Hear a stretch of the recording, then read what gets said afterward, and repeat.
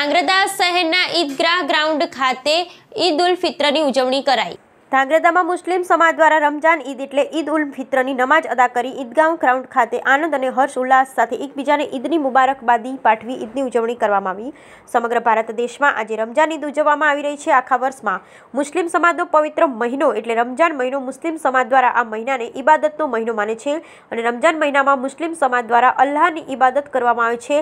આ મહિનામાં મુસ્લિમ સમાજના ત્રીસ દિવસના રોજા રાખીને રાત્રે તવાહવી પઢી અને જકાત, સદકા, ફિત્રા આપીને અલ્લાહની ઇબાદત કરતા હતા. રમજાન મહિનાના ત્રીસ રોજા બાદ આજ સમગ્ર દેશમાં ઈદ મનાવવામાં આવે છે. ત્યારે સુરેન્દ્રનગર જિલ્લાના ધાંગધ્રા શહેરના ઈદગાહ ગ્રાઉન્ડ ખાતે સમગ્ર શહેરના તથા આજુબાજુના વિસ્તારના લોકો હળી મળીને ઈદની નમાજ અદા કરી હતી.